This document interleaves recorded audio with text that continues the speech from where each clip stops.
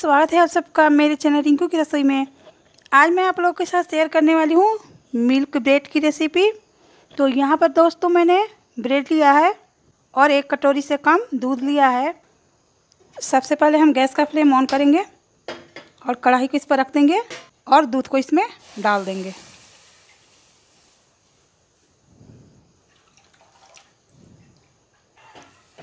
यहाँ पर मैंने चार हिस्सा दूध लिया है। तीन हिस्सा दूध को हम सुखा लेंगे और एक हिस्सा जो दूध बचेगा, उसी से हम बनाएँगे मिल्क ब्रेड तो चलिए, दूध को अच्छे से खौला लेते हैं। तो ये देखिए दोस्तों, दूध उबलने लगा है। अब हम दूध को सुखा लेंगे। तो ये देखिए दोस्तों, दूध सूख चुका है। अब हम इसमें चीनी डाल देंगे।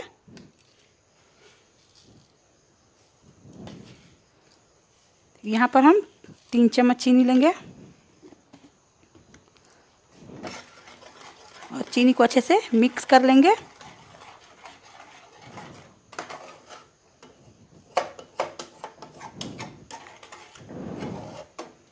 अभी मैंने चीनी डाला है तो इसमें थोड़ा चीनी पानी छोड़ देगा।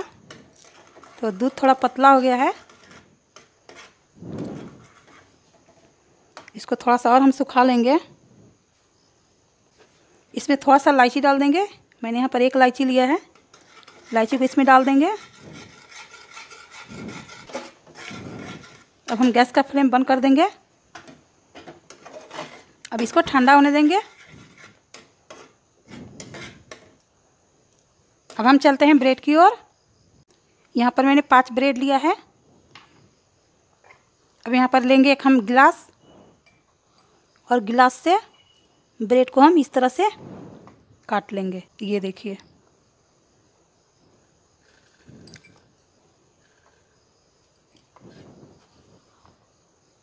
ये देखिए दोस्तों।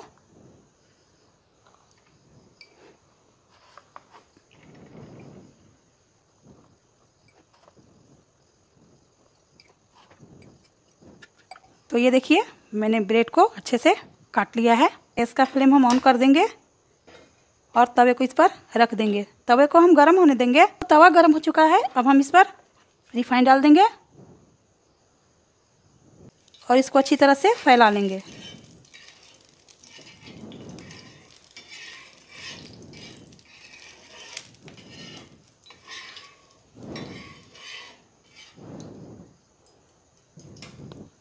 अब हम इस पर ब्रेड को रख देंगे।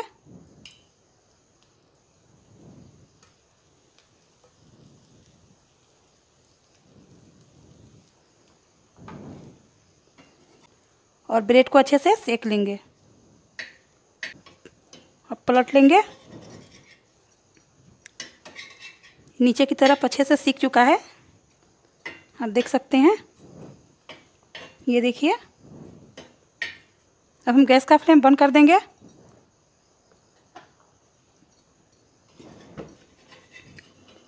इसको प्लेट में निकाल लेंगे।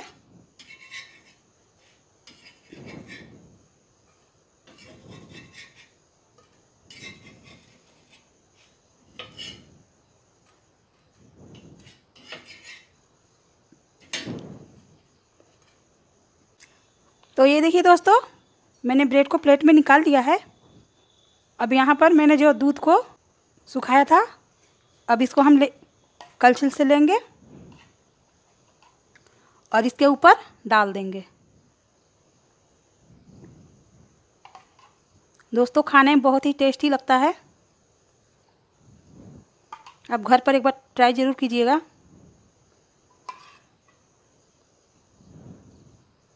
ये देखिए।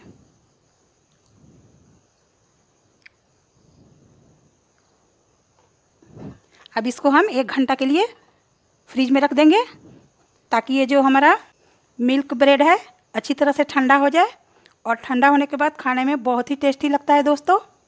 अगर खाना खाने के बाद मीठा खाने को मिल जाए तो मज़ा आ जाता है। तो चलिए, एक घंटा के लिए इसको हम फ्रिज में रख देते हैं। तो दोस्तों, एक घंटा हो चुका है और हमारा मिल्क ब्रेड ठंडा हो चुका है। अब ये सर्व करने के लिए बिल्कुल रेडी है। तो आपको ये रेसिपी कैसी लगी? अगर अच्छी लगी हो तो वीडियो को लाइक और चैनल को सब्सक्राइब कर दें। धन्यवाद।